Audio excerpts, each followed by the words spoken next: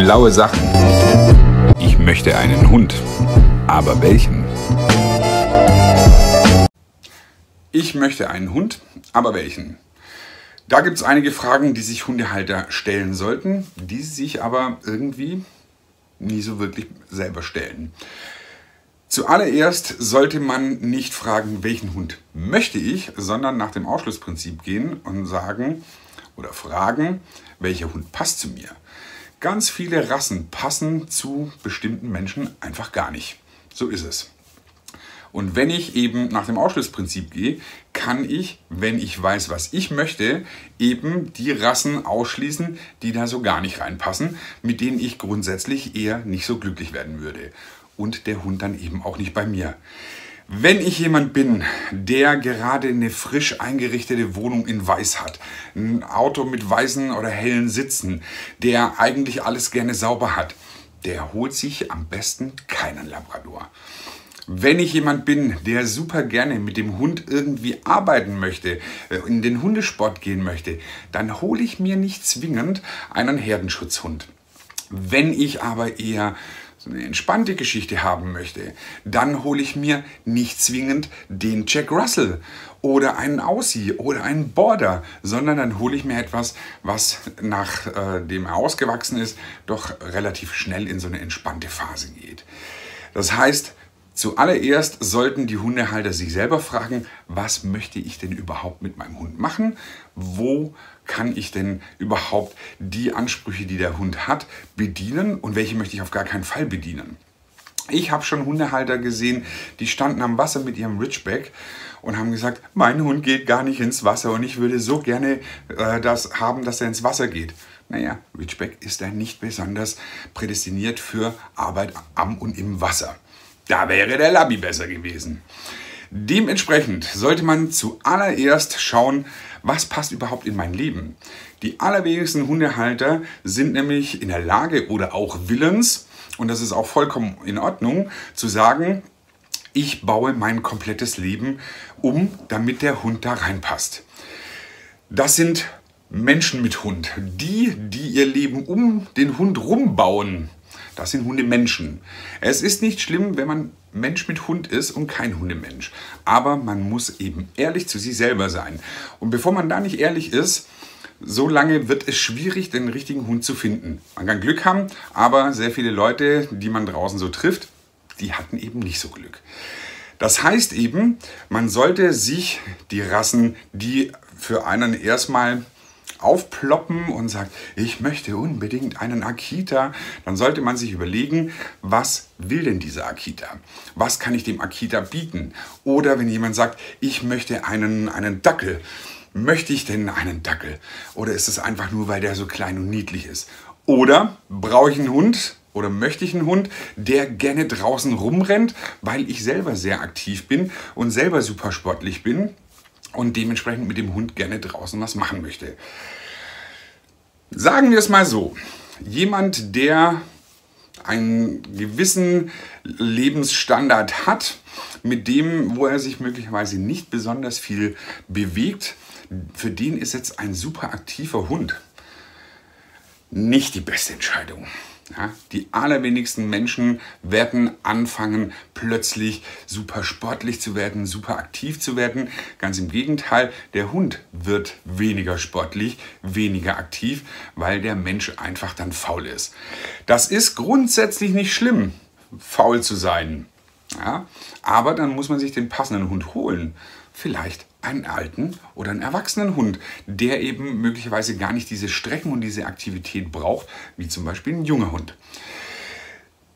Wenn ich aber zum Beispiel gerade ähm, meine Ausbildung fertig gemacht habe oder gerade im Studium stecke, dann muss ich mich natürlich fragen, ist das die richtige Zeit, um mir einen Hund anzuschaffen? Natürlich habe ich während dem Studium immer wieder Zeit, mich mit meinem Hund zu beschäftigen, aber der Hund kommt als Welpe vielleicht.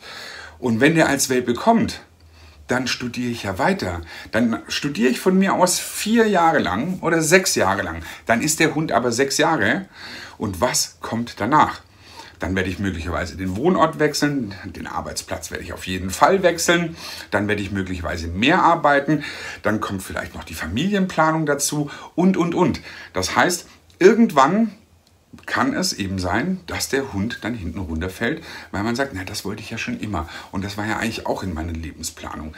Wenn ich in dem Moment, in dem ich eigentlich gerne einen Hund hätte, aber für mich entscheide, ich gehe jede Woche irgendwo Party machen, von Freitag bis Sonntag, und am Montag habe ich die kleinsten Augen der Welt, dann ist es möglicherweise auch nicht die richtige Entscheidung, sich einen Hund anzuschaffen, weil dieser Hund nicht von Freitagabend bis Sonntagnachmittag, bis man wieder halbwegs den Kater weg hat, ähm, watten kann, sondern auch in diesen drei Tagen muss der Hund beschäftigt werden. Der muss raus, der muss gefüttert werden, der hätte auch gerne seinen Menschen und Kontakt zu seinem Menschen.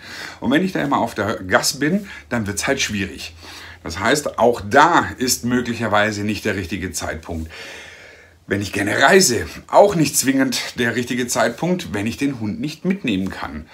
Und so gibt es ganz, ganz viele äh, Punkte, die man eben für sich erstmal aus seinem eigenen Leben äh, reflektieren muss und eben auch ehrlich zu sich sein muss.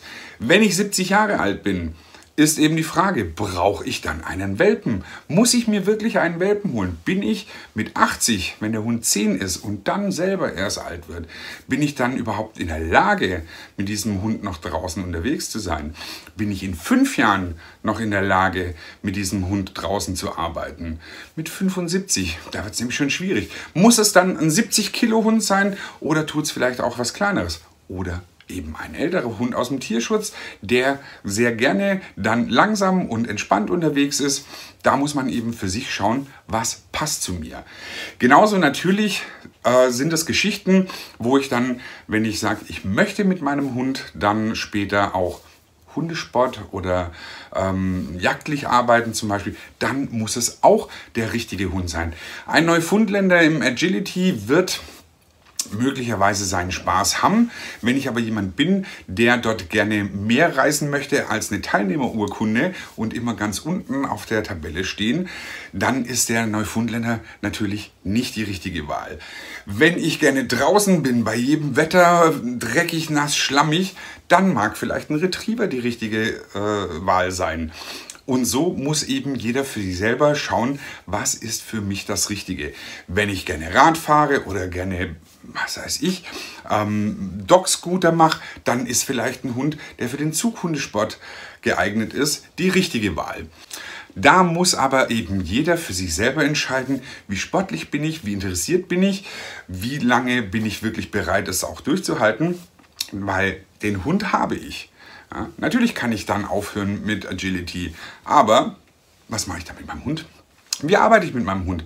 Was kommt dann als nächstes? Oder werden es dann einfach nur noch die Runden, die stumpfen Runden, wo der Hund halt irgendwo hinrennen darf, wo es mich nicht mehr interessiert?